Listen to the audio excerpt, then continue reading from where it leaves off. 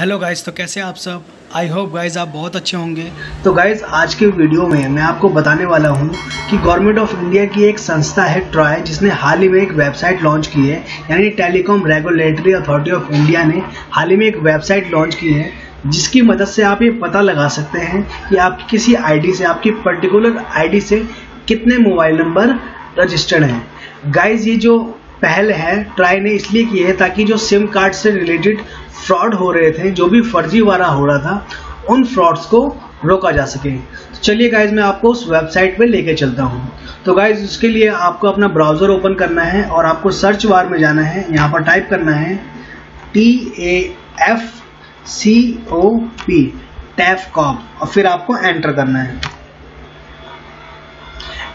Enter करने के बाद गाइज़ आपको यहाँ पे जो पहली वेबसाइट दिखाई दे रही है TAFCOP dot D G telecom dot G O V dot I N इस पहली वेबसाइट पे आपको क्लिक करना है। क्लिक करने के बाद गाइज़ आप telecom analytics for fraud management and consumer production की जो वेबसाइट है, उस पर आप आ जाएँगे। तो गाइज़ इस वेबसाइट का मैं लिंक वीडियो के डिस्क्रिप्शन में भी दे दूँगा। आप वहाँ से डायरेक्ट इस वेबसाइट पर आ सकते हैं।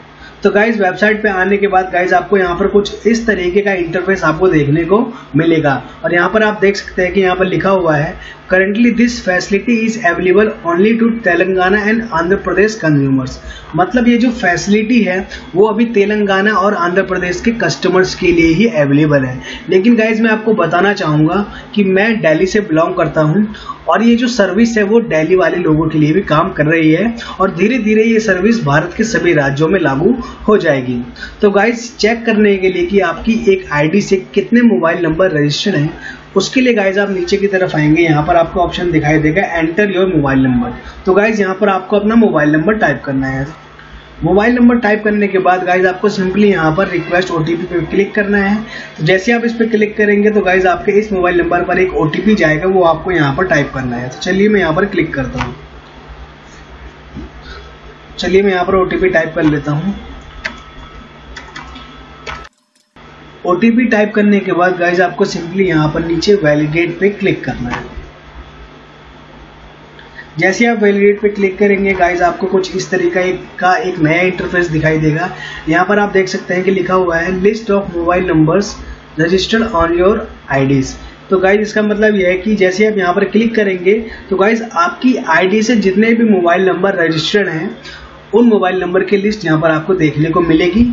और यहाँ पर लिखा भी हुआ है कि you may choose to select the numbers that are not in your name और not required and submit your report guys इसका मतलब यह है कि ये जो मोबाइल नंबर की लिस्ट यहाँ पर आपको देखने को मिलेगी, इनमें से अगर आपको लगता है कि कोई नंबर आपका नहीं है या आपकी फैमिली मेंबर्स में से किसी का कोई नंबर नहीं है तो उसको आप सिलेक्ट करके उसकी आप रिपोर्ट कर सकते हैं।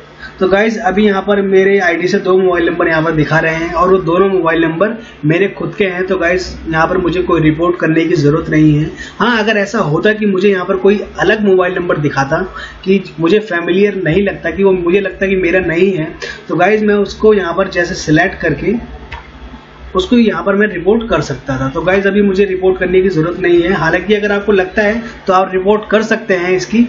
और गाइज़ ये जो पहल है ट्राई की मुझे बहुत अच्छी लगी। तो गाइज़ इस पहल की मदद से जो फ्रॉड हो रहे थे फर्जीवाड़ा हो रहा था, एक आईडी किसी दूसरे की आईडी से लेकर ऐसे ऐसे उल्टे सीधे काम हो रहे थे, उन फ्रॉड्स को रोका जा सकेगा। तो गाइज़ ये छोटी सी इन्फॉर्मेशन थी जो मैं आपको देना चाहता था।